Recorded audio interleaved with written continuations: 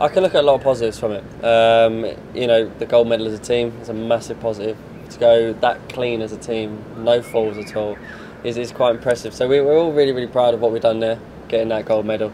And yeah, my individual finals didn't go exactly to plan. It didn't go as good as I would have, would have liked them to, but that is competition, that is sport, and that is gymnastics, and that's our sport, and it's a sport that I love. You know, I, I enjoy being out there, enjoy competing, and it's not going to go right every time.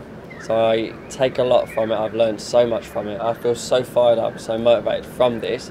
I kind of look at it as a blessing in disguise now because it's given me that fire that I, I really needed, like to just push me even harder and, and to make sure that it, it doesn't happen again. So I'm looking forward to getting back in the gym and making my routines more solid and uh, being picky with everything I do in the gym and make sure that I'm, you know, try not to give the, the judges an opportunity to even take any deductions. I had a plan, so I, I'm sticking with the plan, and this this competition, like, it's, it's, it's not a negative. It's not like a hiccup in the plan. It's you know it's it's part of it. It's the process, and that's what happens. And it's basically putting all the risk in now. So I said at the beginning of the year that my routines are risky. There's new structure, there's new skills, and the risk of falling off is higher. It's just the way it is, and I know that I need to do that now.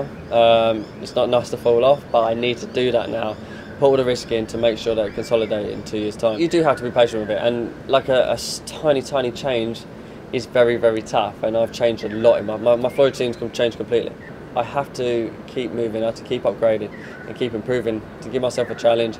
And to also, if I stand still, people are going to catch me. And uh, you know that's the whole reason why I've made these upgrades because I don't want that to happen. I'm going to keep pushing to my limit that I want to do every single time.